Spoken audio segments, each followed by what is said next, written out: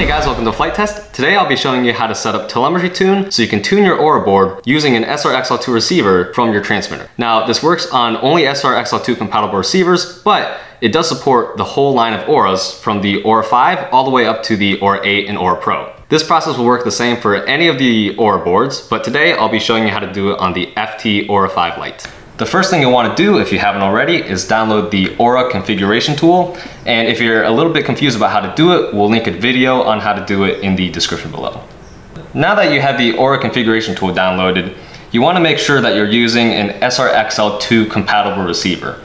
Currently, there's only two SR-XL2 compatible receivers offered from Spektrum, uh, which are the SPM 4650 receiver and the SPM 4651T receiver. Today we're going to be using the 4650.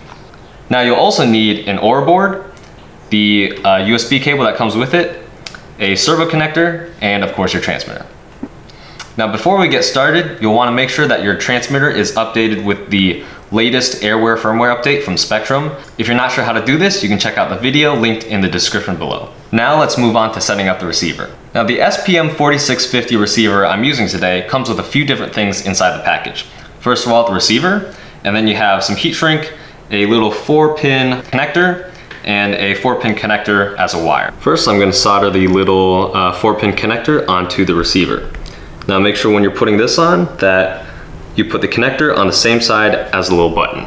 And make sure you don't bridge any wires together like I just did. If you do, uh, you can simply take the tip of your iron and wipe it off. Sometimes sliding the tip of the iron between the pins will help remove that bridge. And let's go ahead and throw some heat shrink on here.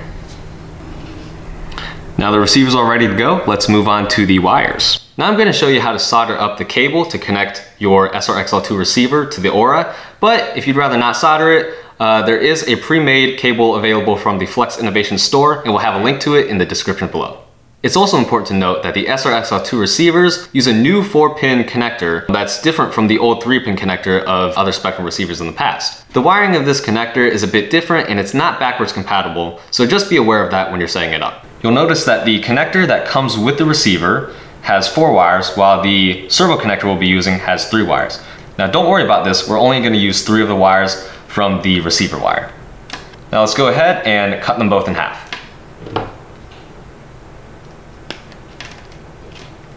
Now for the wires, you're gonna wanna make sure that you're using the correct wire ends. For the four pin cable that comes with the receiver, you don't have to worry about it because uh, the wire actually comes with the same connector on both sides. But if you're using a servo connector from a servo extension or something, make sure you use the connector that looks like this. First, I'm just gonna strip these wires so I have some bare wire to solder to. Now, a wire stripper works great for this, but if you don't have a wire stripper, a knife and some flush cutters work great as well. We're also gonna strip the wires from this four pin connector, uh, but just remember that you don't need to worry about the gray one, so we can just leave that.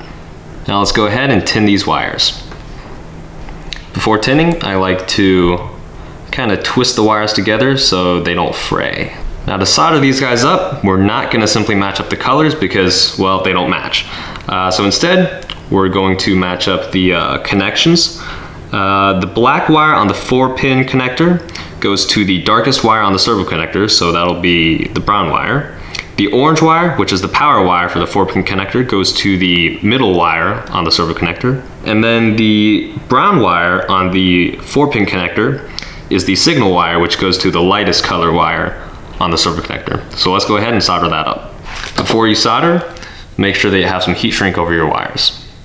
If you have helping hands to help you solder, that's a great tool to use, but if you don't, uh, some sort of weight like these flush cutters uh, work pretty well for just holding things in place. Now we're gonna slide the heat shrink over and shrink it on. Give this wire a little twist and then we're done. Now again, with the gray wire, we're not gonna do anything with it, so you can either chop it off or just wrap it around like this. In either case, just don't worry about it too much. Now all we have to do is plug the four pin connector into our receiver, and that's all we have to do for the receiver part. Now let's move on to the Aura. So for the Aura, we're gonna update it to the latest firmware, which in this case is 1.14. Go ahead and open up your Aura configuration tool and we'll go ahead and connect the Aura. And hit connect. Now that we're connected, go up to Aura Tools, update Aura firmware, and we'll see that the current firmware on the board is version 1.13. The version we want is the newest available firmware, which is 1.14. Now I'll go ahead and put in our email address and install the update. Go ahead and hit yes. And you can see that the firmware update is downloaded on the computer and is now installing on the Aura. All right, our Aura is updated and we can go ahead and hit OK and disconnect from the configuration tool. Now that we're done updating the Aura with the newest firmware, let's go ahead and set up the transmitter. We just go to Model Select, scroll down to New Model, and hit Create. Now while we're in the System Setup tab, let's also go down to Channel Assign, and scroll down to Next, scroll down to Gear, and select a three position switch for your flight mode. Uh, in this case, I'm just going to use switch C. Now we can go back to the main menu and go from there. Now you can see we're on the main screen and we can go into the menu and scroll down to telemetry. Once we're in here, let's go to uh, this first tab here and scroll over until we see text gen. T-X-T-G-E-N. Oh, there we go, text gen. And we can just leave that how it is, display act and go back to the main menu. Now the reason why we're setting up a text gen screen on our transmitter is that this is how our Spektrum transmitter communicates with the Aura. It's important to note that this feature is only supported by SRXL2 compatible receivers, so if you don't have a receiver that's compatible with SRXL2, unfortunately you won't be able to use this feature. Now that we have the transmitter all set up, let's plug things into the Aura. Your receiver is going to be plugged into port B. Now there's two port Bs on here. There's one that is a weird little connector pin, and the other one is a normal servo connector, and that's the one we're gonna be using. We'll just plug that in and make sure that we have the ground wire, the uh, black or brown wire, uh, closest to the back of the board. Now Josh actually made this little Sportster airplane mock-up, uh, which has all the servos we need, so I'm just gonna plug it into the Aura and we can see how it works. Currently, this Aura is programmed to have two ailerons, so the first port will be throttle, the second port will be the left aileron. The third port will be the right aileron. The fourth port will be elevator and the fifth port will be rudder. Your servo ports might be a little different just depending on what aircraft type you're setting up. And now we're going to bind the receiver to our transmitter. Now this particular receiver, which is the SPM4650, has a bind button, so we're going to press and hold that while plugging in the battery.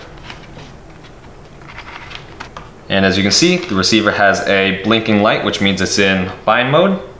We can hold down the bind button on our transmitter and turn it on.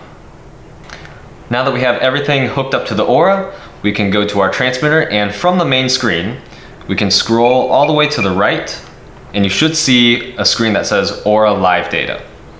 Now this shows you uh, which flight mode you're in. So at the top, you can see the flight mode changing as I flip the flight mode switch. And at the bottom, it also shows you your P gains for roll, pitch, and yaw. Now to adjust settings straight from the transmitter to the Aura, we're gonna have to enter the Aura telemetry tune screen. To get to this screen, uh, center your sticks and lower your throttle for at least three seconds, and then flip your flight mode switch up and down about three and four times quickly. As you can see, this brings you right into the Aura telemetry tune screen. From here, at the top, you can still see which flight mode you're in, uh, one, two, or three, as well as the name. Whenever you're tuning from the transmitter, just make sure that you have the correct flight mode selected and it's the flight mode that you want to change settings on. Once we're in the telemetry tune screen, you're going to navigate the screen not with the roller, but with the right stick um, or with aileron and elevator. Hit down elevator and up elevator, we can navigate the screen. As you can see from the transmitter, we can adjust dual rate settings, expo, gain, reversing servos, sub trim, stick priority, orientation of the board, and scale.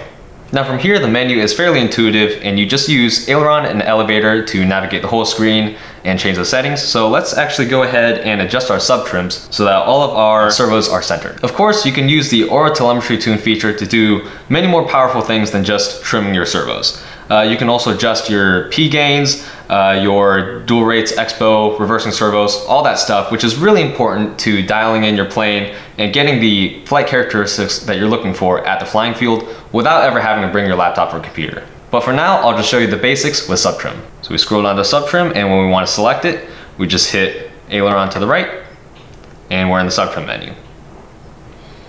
And we're gonna scroll over to right aileron because it looks like our right aileron is just a little bit under. And now we'll just wanna give it a little bit of subtrim one way or the other, doesn't really matter yet, and we'll see which way it goes. To increase or decrease the subtrim, we're just gonna use the aileron uh, stick and push that left or right. And we can just set this to any arbitrary value. I'm just gonna go to 100. Now we can scroll down to test, uh, just to see where the subtrim is. And then as you can see, the subtrim brought us pretty close to center. Uh, it looks like it could use a little bit more, so we'll give it maybe uh, 110 or 120. Uh, and to exit the testing menu, all you have to do is hold the aileron and elevator stick three seconds to exit as it says on the screen. I'm just gonna hold it to the corner.